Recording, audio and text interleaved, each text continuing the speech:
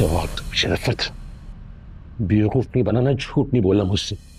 वो दोनों यहाँ से गए कैसे? जाना तो उस लड़की को था यहाँ से। तो मेरी ज़रूरत कैसे हुई? तुम्हारी हिम्मत कैसे हुई कि मेरी इजाज़त के बगैर मेरे बेटे की शादी करो? छोड़े हाजी मुझे तकलीफ़ हो रही है। अच्छा लगता है मुझे। तुम्हें तकलीफ़ में देखकर मुझे बेनता खुशी होती है। हिम्मत कैसे हुई तुम्हारी उस तलाक याफ्ता लड़की को मेरी बहू बनाने की? उस लड़की के ज़रिए मुझे नीचा दिखाने की। जो कुछ भी हुआ ये साद का अपना फैसला था मैंने कुछ नहीं किया। अच्छे तरीके से जानता हूँ मैं तुम्हें रफत। तुम उस लड़की के ज़रिए मुझे यानी हाशिम सईद को नीचा दिखाना चाहती हो। ताकि मुझसे इंतकाम लेकर तुम्हारे दिल के अंदर जो बदले की आग है वो ठंडी हो सके जो बसों से तुम्हारे दिल में चल रही है।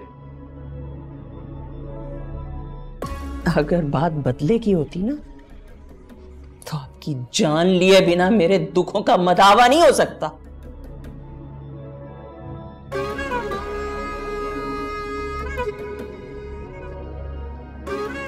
मेरी जान मेरी जान लेने का तुम सिर्फ़ सोच सकती हो। हम्म? और एक बात कान खोल के सुन लो। ये शादी हो तो गई है।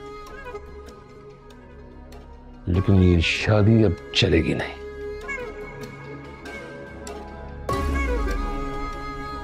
फूल है आप।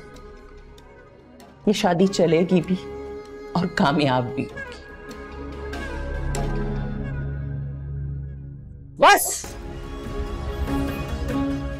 अब ये हाथ ना उठे। वरना